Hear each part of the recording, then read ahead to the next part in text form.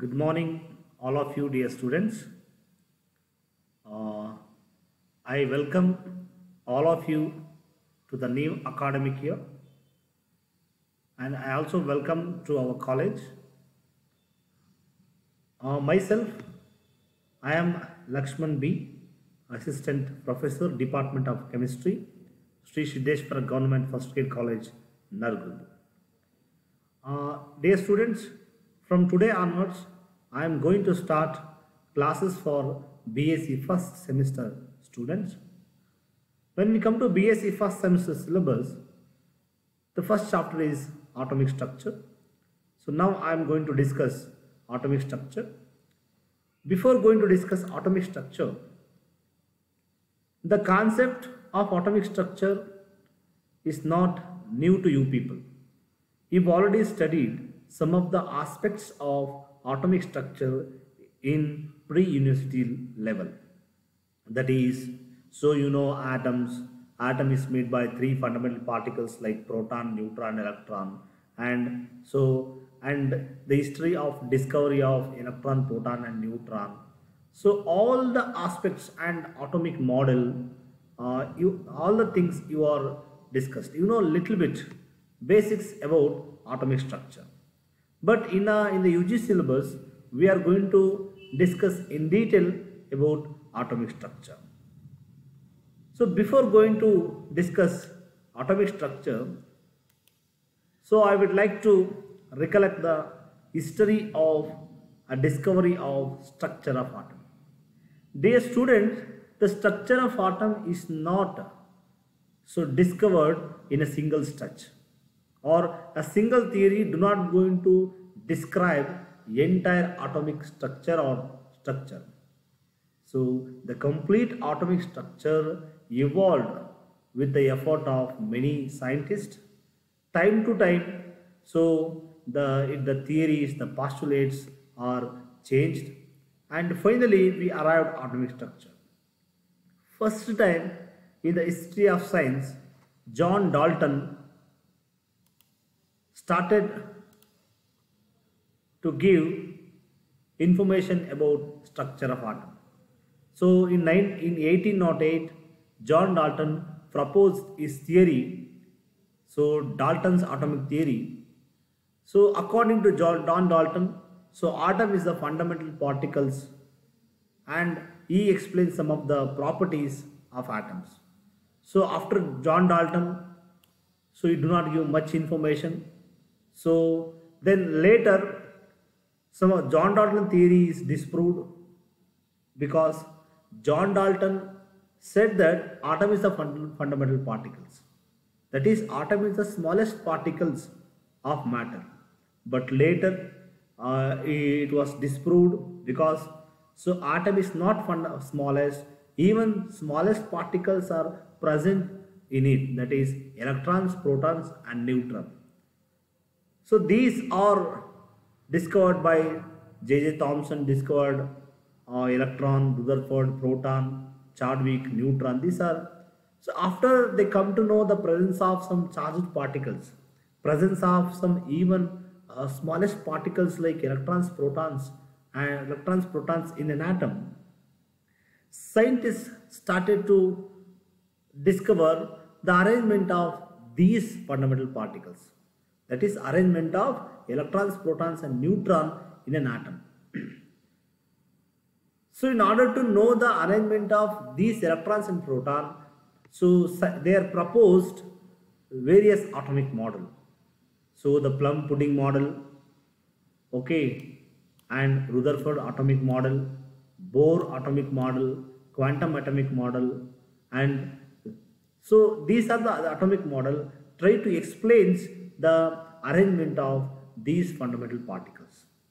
So Rutherford, so Thom's plum pudding model says that, so in an atom, these fundamental particles are distributed like seeds in the watermelon.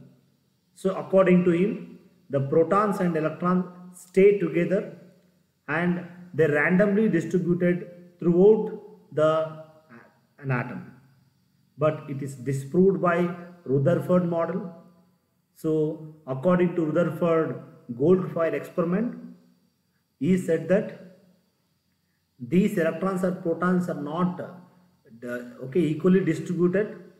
Instead of that, the positive part of an atom is located at the center part of the nucleus, center part of an atom. So we call this as nucleus, and electrons are so surrounded this nucleus.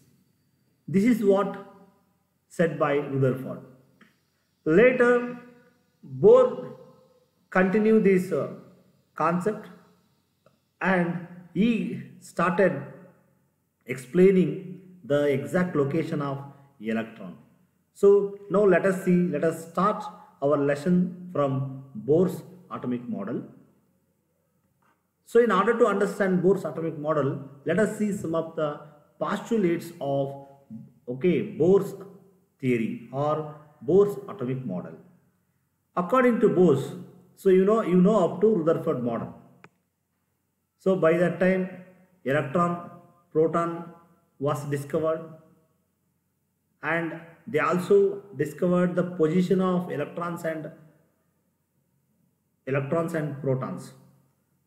But Rutherford failed to explain some of the concepts like why, why electrons are revolving on the nucleus.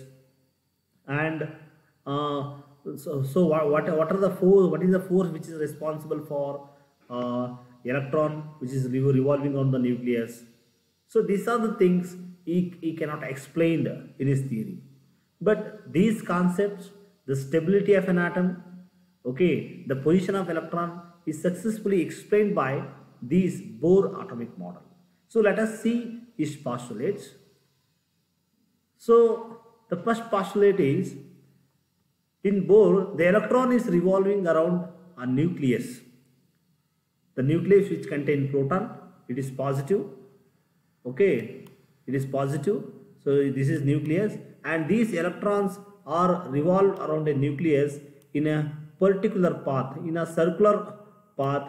So these paths are called as so shells or energy level, and these energy level is designated as KLMN shells. So this, according to him, electrons is revolving on the nucleus in a particular region.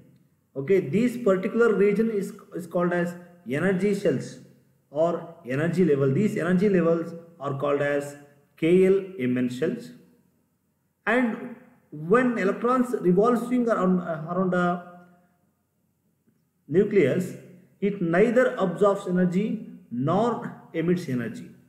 Suppose this if electron absorbs the energy, it move from lower energy to higher energy level. Okay, when but when come to low higher energy from higher energy to lower energy, it emits the same amount of energy. That means so when electrons revolving in a constant path, it neither absorbs energy nor emits energy. Suppose if it absorbs energy, what happen? It moves to higher energy orbitals. That means when move to lower energy to higher energy level, it absorbs the energy and so it when when moving from higher energy to lower energy, it emits the same amount of energy. This is the another postulates of this theory and the amount of energy which is absorbed or emitted by an electron is equal to energy difference between the two orbital. For example, you just uh, imagine, you please observe this diagram. So imagine these are the two orbitals, two paths in which electron, okay, electron revolving. Suppose when electron move from here to here, it absorbs energy and while coming from higher orbital to lower orbital it emits the same amount of energy. So this energy is, is nothing but it's the difference between energy of higher orbital with energy of lower orbital. It can be mathematically indicated as delta e is equal to e2 minus e1 is equal to h nu. That is nu is frequency of radiation emitted. E2 means energy of higher orbital e1 means energy of lower orbital and he also explained the angular momentum So you know momentum. Momentum is nothing but uh, the product of mass into velocity is called as momentum. So there are two kinds of momentum. One is linear momentum and angular momentum. You know two kinds of motion, linear motion and angular motion. Okay, if an object move linearly, it has linear motion and it possesses linear momentum. But in case of an atom, electron is revolving around the nucleus. So here we have to account is there is an angular momentum. Momentum takes place around the nucleus. That's why so the the angular we have to calculate the angular momentum. The angular momentum is equal to angular momentum is, is nothing but the mv mvr is equal to nh2 pi. Here me is the mass of electron. Okay, velocity radius is equal to n is the number of orbital. If it is in the k shell, n is equal to 1. If it is a L next cell, k L shell, n is equal to 2. So this is how he is going to accounts angular momentum. So these are the postulates of Bohr's atomic model. Again dear students, Bohr atomic model mainly going to explain four important things. That is, firstly he is going to explain that there is some energy level around the nucleus in which electrons are revolving in a particular positions. And while revolving, these are neither absorbs energy nor emits energy. Okay, the energy changes takes place only when when it jumps from lower to higher, it absorbs energy. When it is come back to from higher to lower, it emits the same amount of energy. The energy difference between these two orbitals is equal to energy. The amount of energy is absorbed or emitted during transition between any two orbital. And he also accounts for angular momentum. Okay, angular momentum of an electron. Next, limitations of Bohr's atomic model. So you heard the postulates. The limitations, the first limitation is, so Bohr said that the atom, in an atom, electron is revolving in a particular path.